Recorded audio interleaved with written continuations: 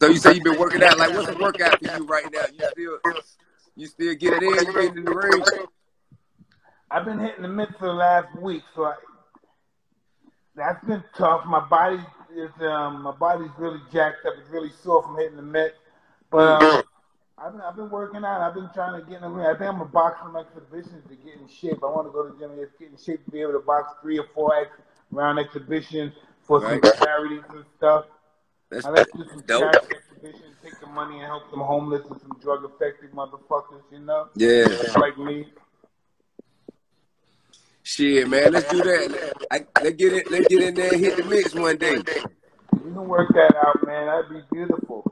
But don't worry, I do around two hours on, on cardio. I do the bike and I do the treadmill for an hour. And then I do some light weights. I do around 300, 250 reps. And then um, I start my day with the boxing. And then I go in and I hit the mitt for like 30 minutes, 25 minutes. Try to get in better condition. Right. Got your timing back together. No way, but I'm starting to put the combinations together. Oh, my body's in pain. I feel like three guys kicked the shit out of me.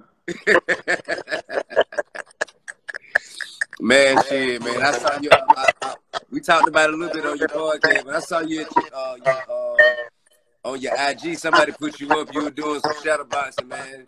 Shit, man. You look like you can goddamn still get in there, bro. Yeah, but listen, I don't know about the. It's different. Boxing is different. You look good, but you really look good when people are throwing punches. Then they really know how good you're really looking. You know, you never know how good you are until you have people pitching punches at you. You know. If I can quote one of your most famous phrases, everybody got a plan till they get hit in the mouth. Exactly.